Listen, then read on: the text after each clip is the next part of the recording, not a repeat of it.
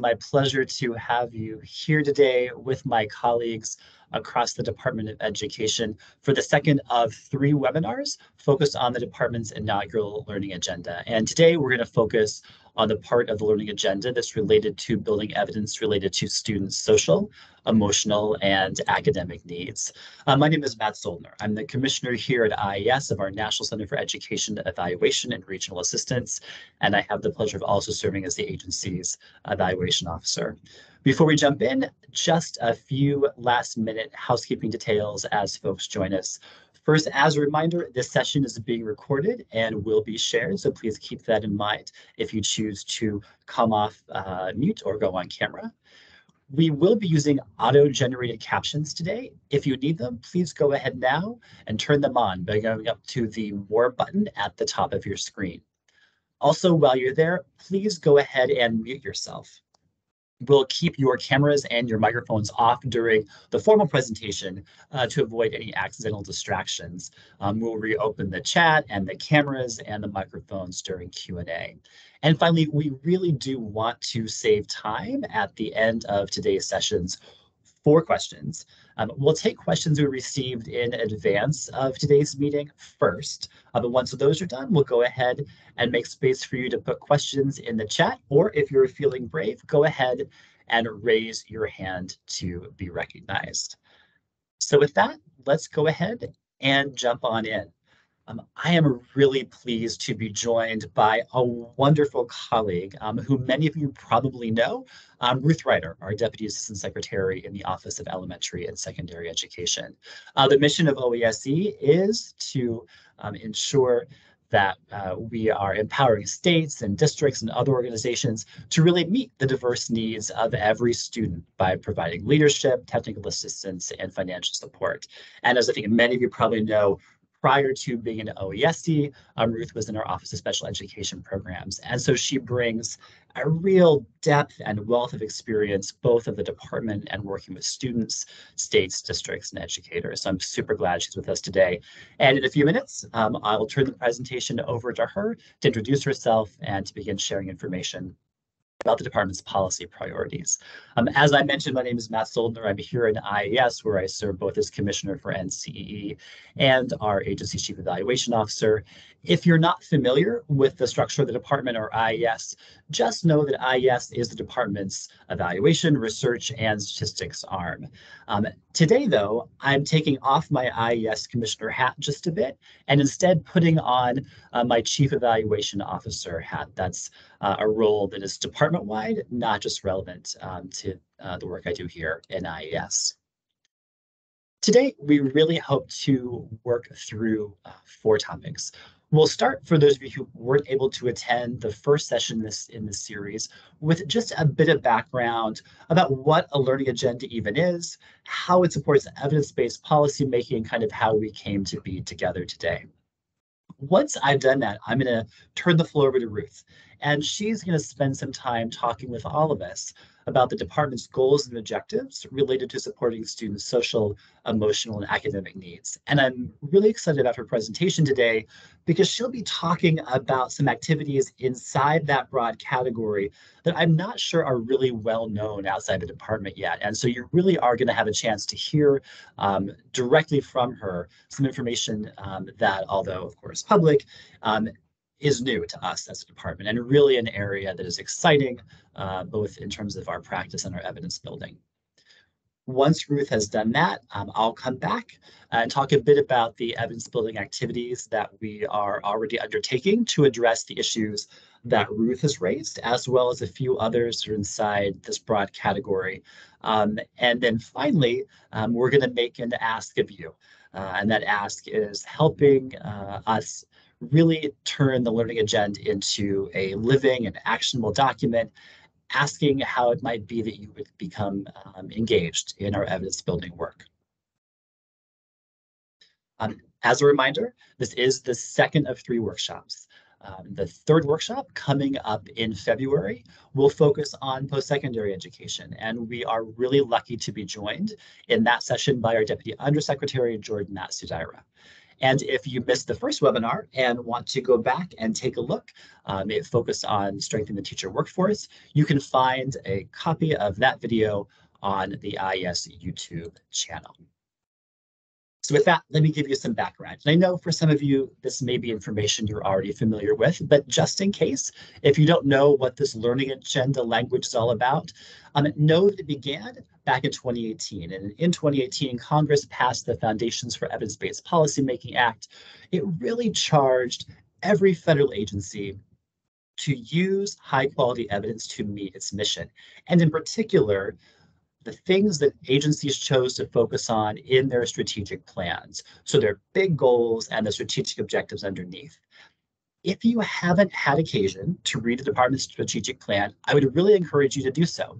You can, after today's webinar, go to performance.gov and see not just educations, but strategic plans from across government. And you'll see all of our goals and all of our strategic objectives for fiscal years 22 through 26.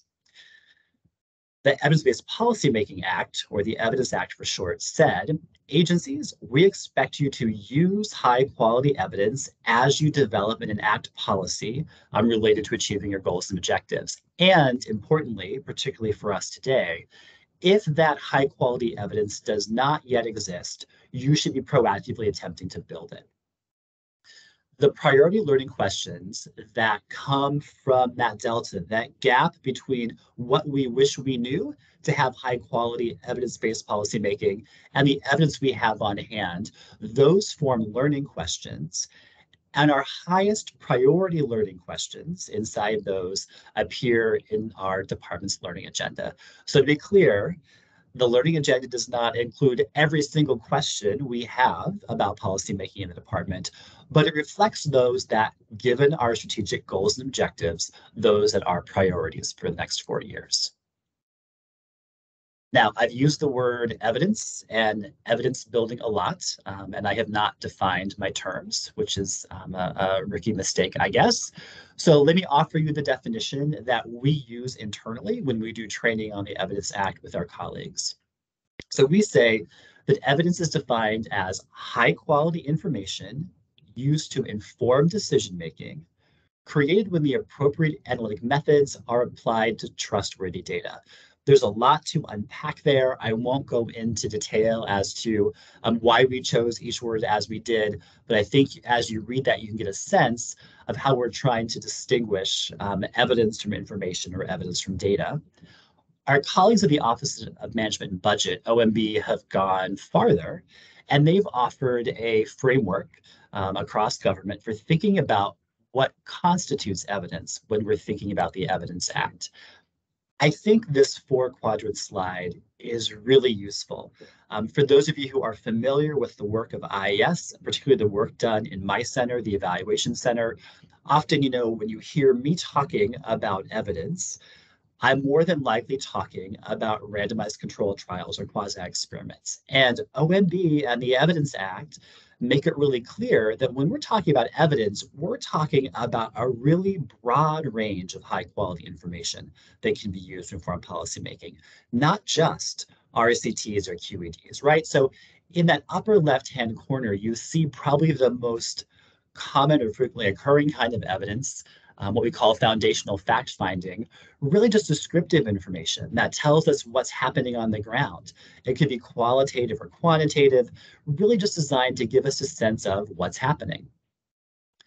Another kind of evidence that we often build through our programs and through our grants is information about our performance. And that kind of evidence gives us insight into whether we are making progress towards our agency goals or whether grantees are making progress towards um, the own goals they've set for their work. Uh, on the bottom left in green, you'll see policy analysis. What might happen if we enacted a particular policy? What do we think did happen um, as a result of that? Often you'll see that inside the department through what we call our regulatory impact analysis process. And then finally, the fourth kind of evidence, program evaluation, um, is really asking what do we know inside a causal framework? What do we know about whether policies and programs work, whether they are actually the cause of an outcome um, that we see? but really want to be clear that when I'm talking about evidence today, and when Ruth is talking about evidence um, in her presentation, we're not just talking about that lower right-hand quadrant. It really is all the kinds of evidence um, that can be brought to bear to inform our policymaking efforts. The reason why uh, we've asked you all to join us probably um, really boils down to the contents of this slide, which get to the point of evidence building as a team sport. You know, nowhere in the Evidence Act does it say that the department um, is going to be required to answer every single priority learning question we might surface. And in fact, we can't. It really does envision that there will be enough information that needs to be built that it will take a whole community of evidence builders, um, evidence users, um, and beneficiaries of our programs, all working together, all thinking about what our questions ought to be, all thinking about how they might best be answered, um, and then working a way to really surface the evidence we need to um, develop and implement high quality, high quality policy. So we've certainly been doing some of that um, in ways big and small, but today really is a formal invitation from us to you um, to become a member of this evidence building ecosystem, ensuring we're bringing high quality evidence to our policy making efforts. So let's dig in quickly to the learning agenda itself. Um, as I mentioned, the learning agenda is meant to support our strategic plan. We released our strategic plan in July of 2022. Um, in addition to finding the learning agenda in that document, you can also find it on another site that after today's webinar, I think um, you might want to check out. It's evaluation.gov. There you'll find not just the Department of Education's learning agenda, but learning agendas across all large federal agencies. And if you go inside our strategic plan um, and our learning agenda, you'll see that we focus on six priorities. All six are on the screen.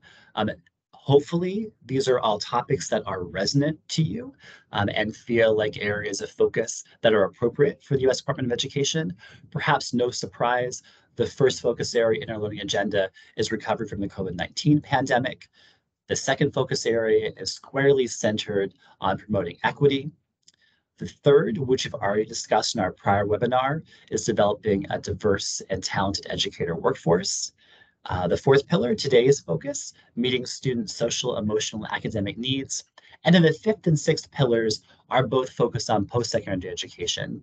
The first is increasing post-secondary value by focusing um, on efforts to uh, increase affordability and completion and post-enrollment success. And the sixth pillar specifically focuses on effectively managing our federal student aid programs.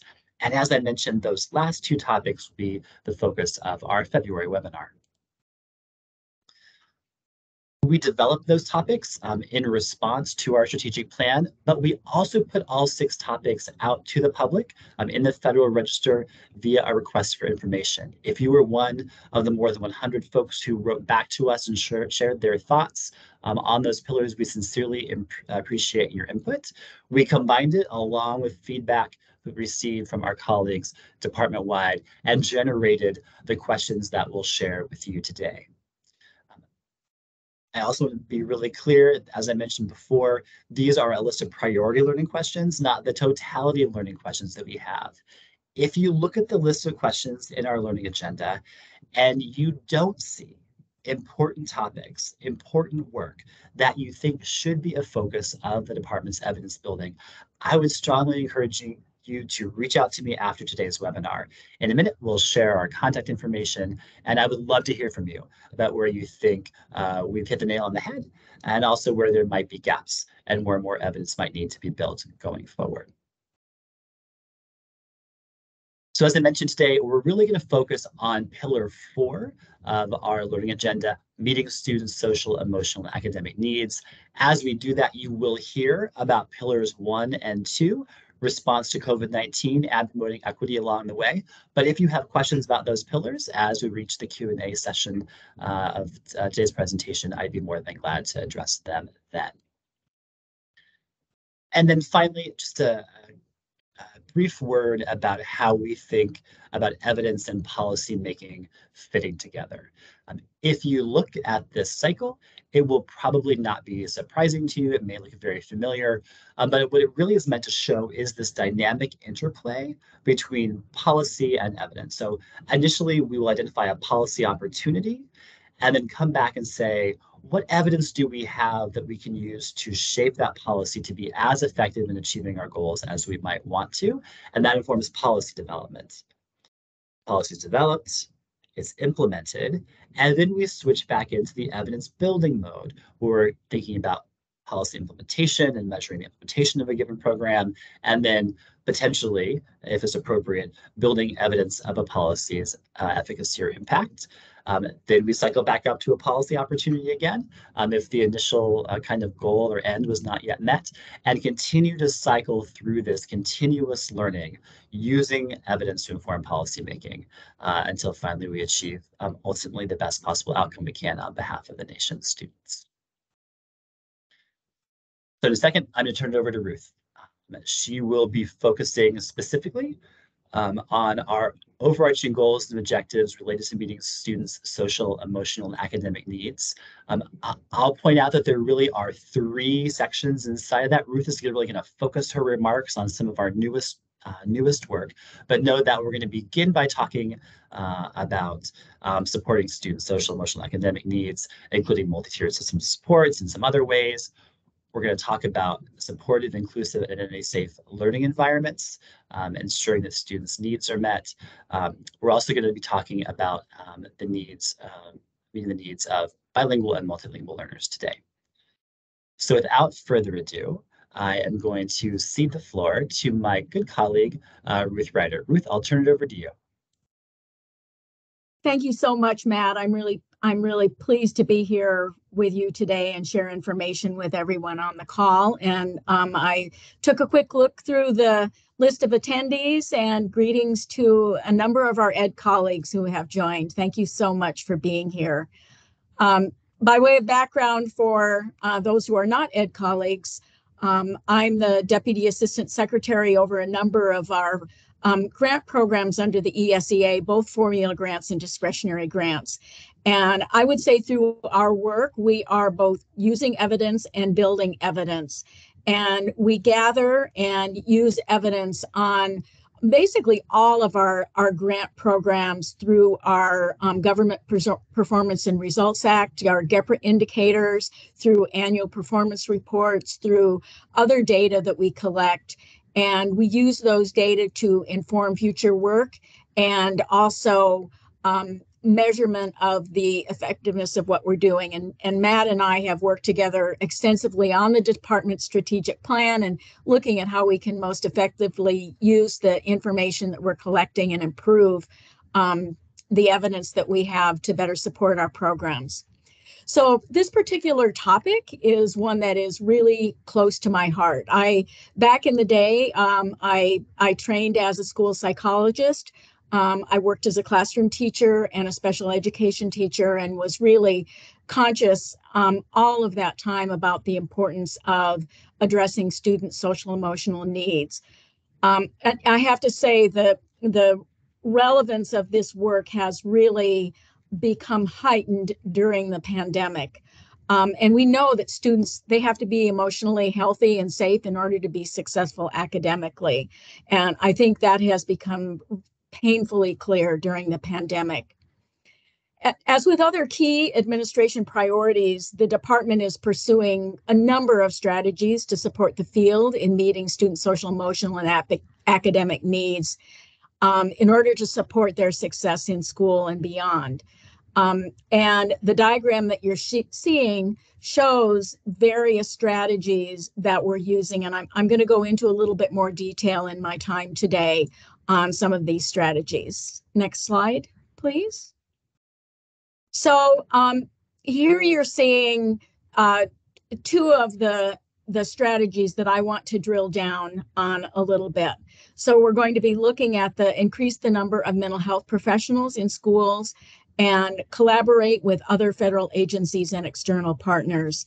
And I just I wanted to mention that I I recently had an opportunity um, to have uh, some conversations with state principals of the year, and they wanted to talk about the social emotional needs of of their students, also their um, their workforce, their teachers and other others. But I, just talking about the needs of students.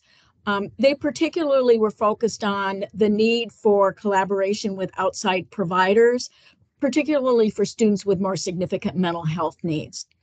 So I, I, I want to move on now to take a look at some of the recent data. Um, Matt, next slide, please.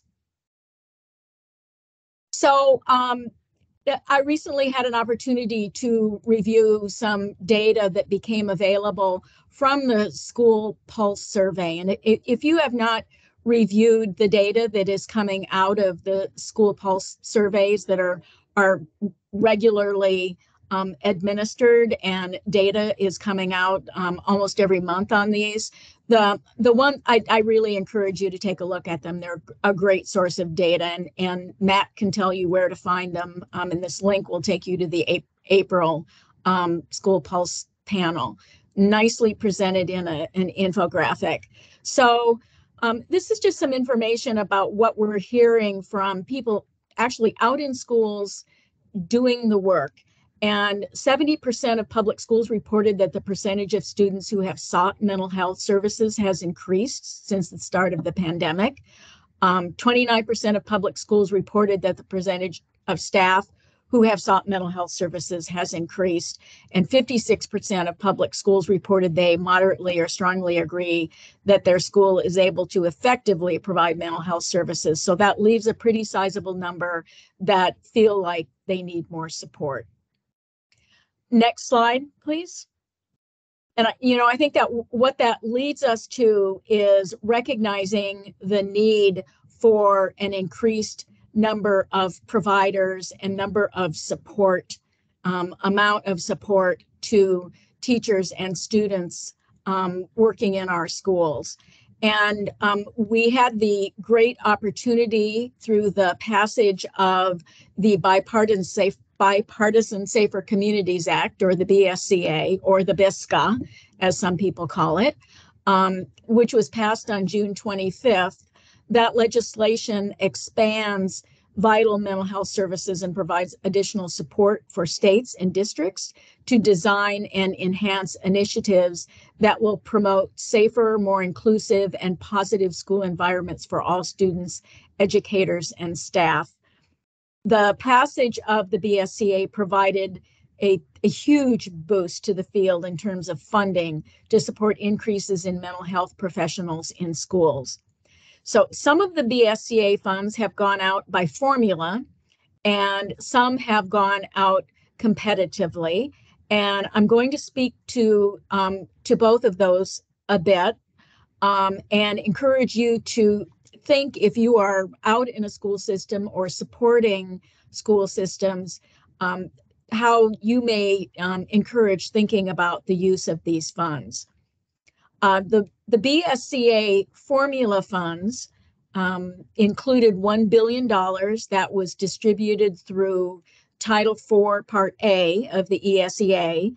And that money went to SEAs to competitively award subgrants to high needs LEAs to establish safer and healthier learning environments and to prevent and respond to acts of bullying and violence and hate that impact our school communities at both the individual level and in, in some cases in the st- systemic levels across programs and activities. The department has designated this component of the BSCA, the Stronger Connections Grant Program. So, Stronger Connections. And these funds we distributed to states in September um, of this last year, um, 2022. And they were provided to states um, for them to work with to design their program. So they have to create a definition of high need LEA. The um, BSCA statute did not define high need LEA, specifically left that to states. And also, they have to um, develop a competition for distributing the funds to high needs LEAs. Um, we did receive information from states in December about their progress in carrying out these activities. We're um, analyzing that information now. Um, we don't we do know that many states are using a multifaceted definition of high needs. So on the slide, you can see some of the things that we encouraged states to look at in um, developing their definition of high needs LEAs, and many states are using multiple of these factors. Um, and states are, uh, some of them are working with stakeholders in school districts and in their um, advocacy communities and associations to think about how they want to do this definition, how they want to distribute the funds. Um, the really nice thing about these funds is they're they're available for use under um, Title IV, Section 4108. Um, and 4108 is about safe and healthy students. It's about using funds to support safe and healthy students.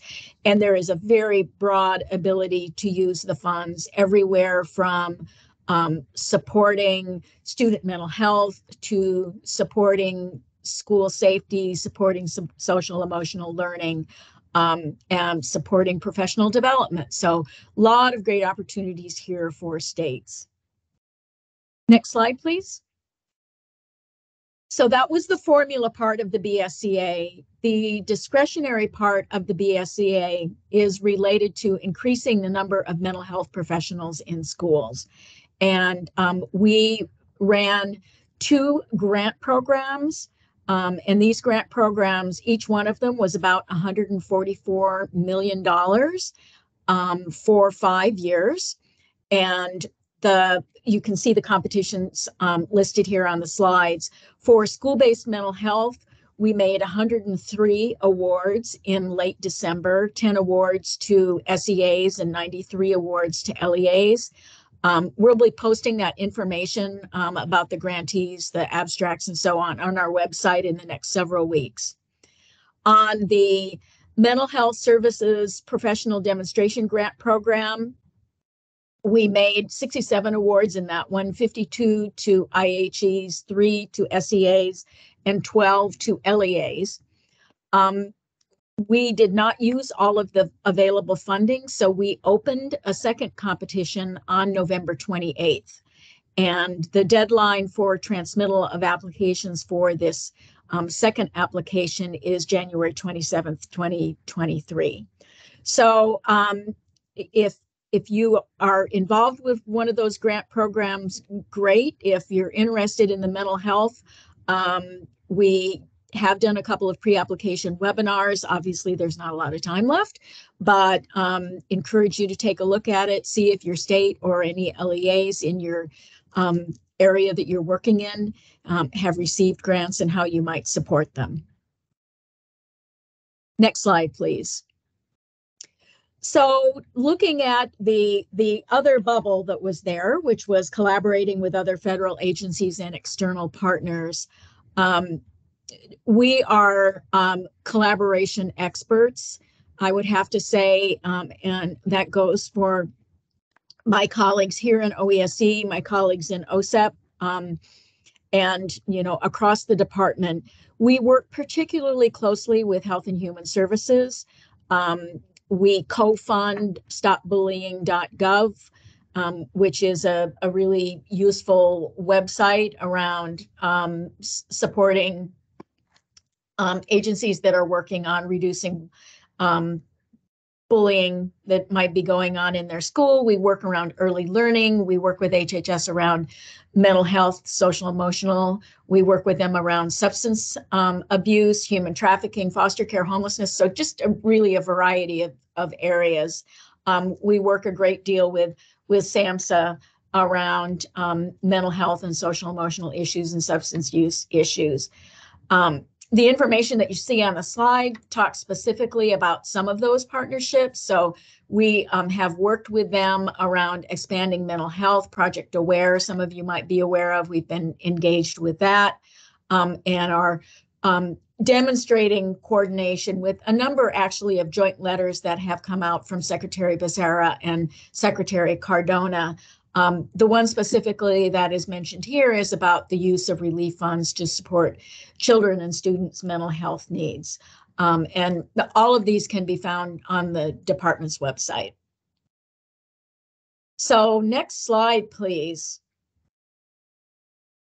So we're going to we're going to continue around the circle here and look at um, another of the uh, another couple of the the bubbles leveraging ed's technical assistance networks to generate and disseminate resources and collaborate and coordinate technical assistance efforts across ed next slide please so this is this is an area that I am particularly excited to talk about because I think we have done some really exemplary work in this area of coordinating our technical assistance.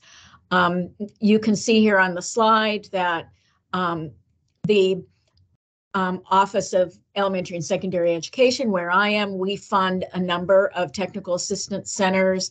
We fund um, the comprehensive centers, which coordinate a lot with Matt's office and the regional education labs. We um, fund school climate and safety centers, school improvement and accountability. Um, we fund center, we have a, a, center now working around school attendance and engagement, um, equity assistance centers. So we, we fund a number of centers. And my colleagues over in the Office of Special Education Programs have a, a really vibrant technical assistance network as well.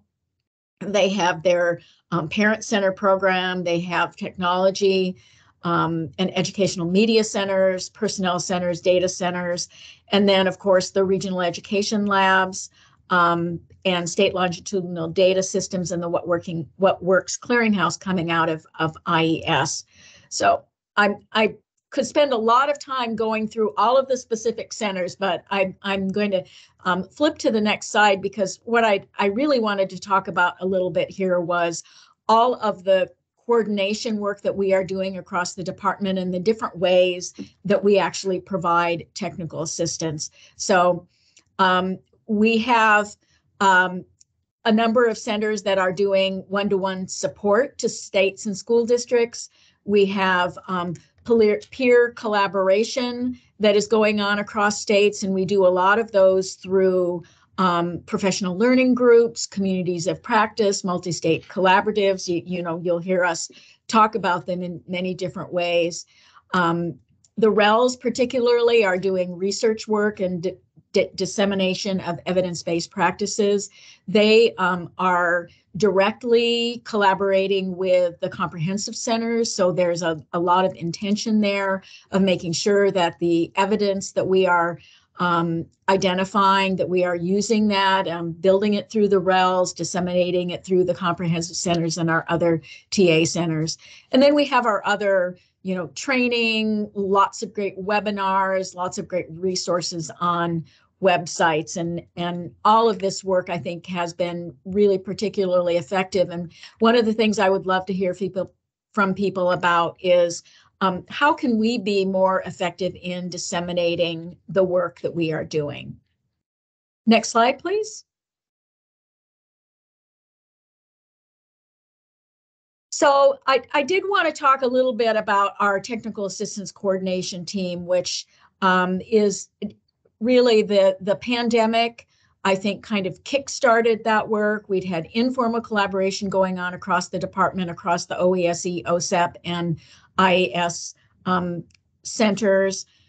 We had not had a formal structure for that collaboration. We now have in place a, a, a formal structure and um, Danielle Smith in my office, Larry Wexler in OSEP, and Matt um, here in in IES are kind of the co-leads of that group, and it really it brings all of our TA center work together for to make sure that we are not duplicating effort, um, that we are really getting the best return on investment and providing the best product and services to our customers and partners out in the field. So you can see here, um, we're working together to disseminate resources. We're curating resource because we know there's so many resources out there. And we want to make sure that we are um, highlighting the best available resources. Um, we are doing a, a, great series of um, webinars called Lessons from the Field. Our uh, National Center on Safe Supportive Learning Environments is leading those, but many of our other centers have participated. And those are really, um, I think, kind of the hallmark of those webinars is that they include every one of them people from the field who are actually doing the work, and we're hearing from them about how they are um, addressing the needs of LGBTQ students, how they are dealing with the mental health needs of their um, teachers in their workforce. Uh, we have one coming up uh, later this month that is on fentanyl and you know which has been just such a, a crisis in our nation lately uh, we also have the Best Practices Clearinghouse, which is a website where we are um, curating resources from the field as well as from our TA centers. And we are now beginning to really highlight the raising the bar literacy and math work, the STEM work, and the high quality uh, training that we are providing across all of our different centers. So some great work going on there across the department. So next slide, please. So I want to finish just briefly talking about the final two circles using the Secretary's supplemental priorities and meeting students' social emotional um, academic needs, learning from investments in education, innovation, and research. So um, the Secretary's supplemental priorities are a really important set of priorities identified by the administration that really set out what is important to them. They are directly aligned with our strategic plan. So I think when we're we're looking at how the department is organizing its work, it's very purposeful and with great intention. So in looking at the Secretary's supplemental priorities, one of them is um, oriented toward meeting students' social, emotional, and academic needs. And in 27 of the competitions that we ran last year, nine of them had competitive priorities related to meeting students' social, emotional needs. Um, the other area I want to mention here is learning from the investments in EIR. Um, this is one of our larger grant programs here in OESE, and it is a program that is specifically designed about developing evidence and then implementing that um, at a, a, a greater level and then expanding the work coming out of it. So three different levels, early phase, mid phase, and expansion phase. And we learn a lot from that, but there is a um, a congressional directive that we spend a, a certain portion of the funding on social emotional um, learning. So we can go in there and just know that we are going to have some projects that are going to be designed around social emotional learning. Um, and we the program is about 284 million and about 87 of that is focused on social emotional learning so you can see that's a sizable part of the investment so i you know all in all i, I think we have a lot of great work going on around the the the different parts of the circle and um, would love to turn it back over to matt to kind of take us home thanks ruth it was really great to hear from you both about the administration's priorities, uh, where we've been, where we've been succeeding, and also where we're headed. So, so thank you so much. And don't worry, Ruth is going to stick around. She will be available to answer questions in the Q&A at the end of our time together. So uh, Ruth mentioned the department's priorities, goals, objectives several times. On this slide, what you'll see is a quick snapshot of the specific strategic objectives in the department's strategic plan um, that really pertain most directly to meeting students' social, emotional, and academic needs. And you'll see that they are aligned to four different priority learning questions that we have in our learning agenda. So I'm not going to make you read this slide. Instead, we're going to dig into each of those four questions. I'll say very briefly a bit about what we're doing um, and then invite you to help us think about where we might uh, be able to do more by working together. Um, before I go on to those, I, I should comment though, I mentioned at the outset of the webinar that these priorities, especially uh, work inside the school area meeting students' social, emotional, and academic needs, are hard to disentangle from two other focal areas inside our strategic plan and learning agenda, that being COVID 19 recovery and equity. You really can't think about those in isolation. If you'd like to dig in more to our learning questions on both of those topics, I've highlighted a few on the screen here, but really encourage you to go to evaluation.gov pull down that learning agenda and take a look at the more specific questions we're asking related to equity and COVID-19 recovery, uh, the work we're doing. Similarly, go to performance.gov and read um, our specific goals and objectives related to the space.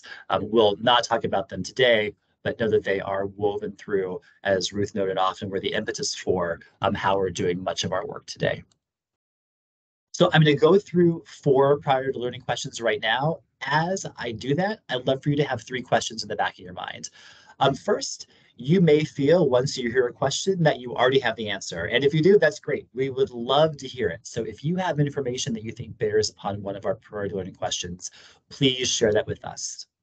Um, second, we would love to hear um, from you whether after you've heard these, you are left thinking, wow, there is a huge space that's missing here where work ought to be done.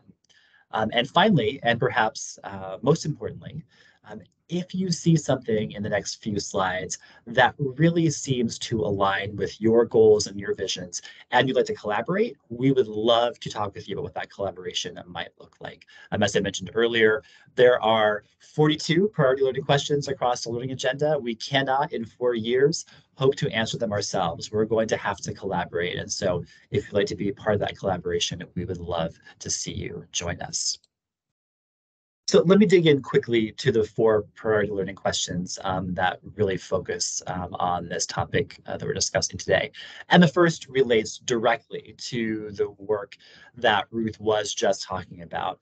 Um, so we're really interested in knowing what supports the design of learning environments and education experiences that are effective in reducing gaps in student opportunity and achievement, including those that are responsive to the assets and needs of underserved students.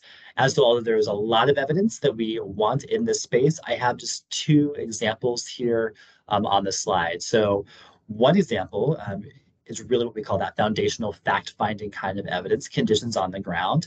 How are states and districts using federal funds, um, like those in Stronger Connections, to do that fostering of safe, healthy, and supportive schools?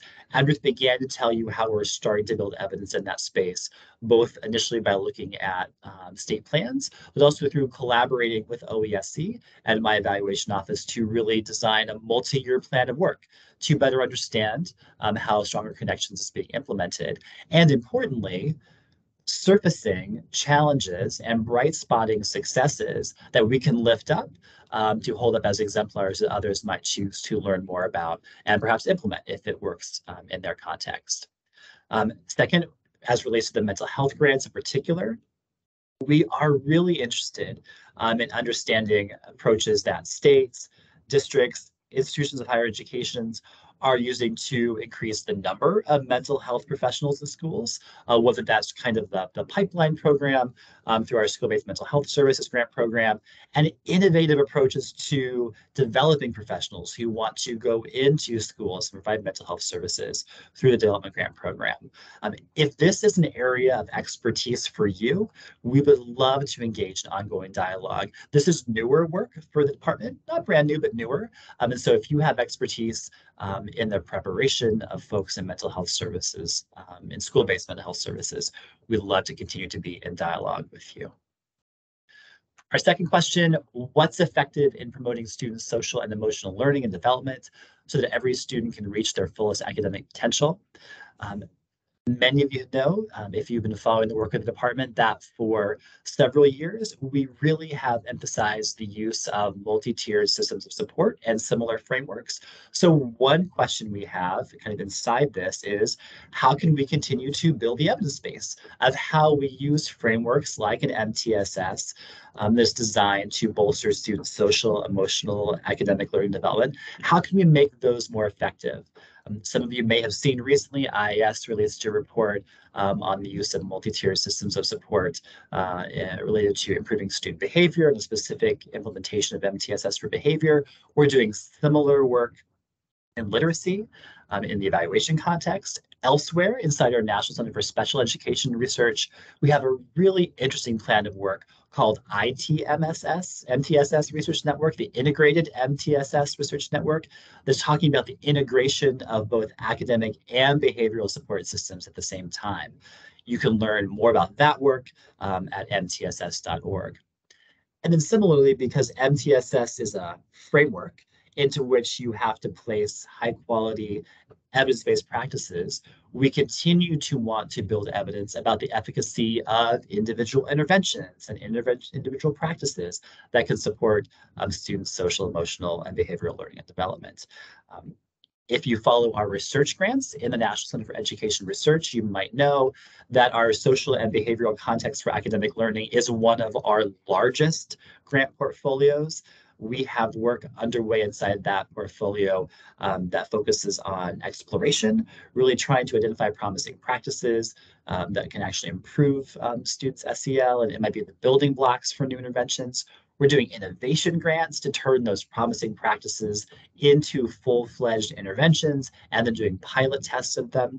And then finally, we're doing efficacy trials, taking uh, those things that look to have the uh, greatest evidence of promise through our work in pilots testing them in a rigorous fashion, beginning to really learn what works inside this space.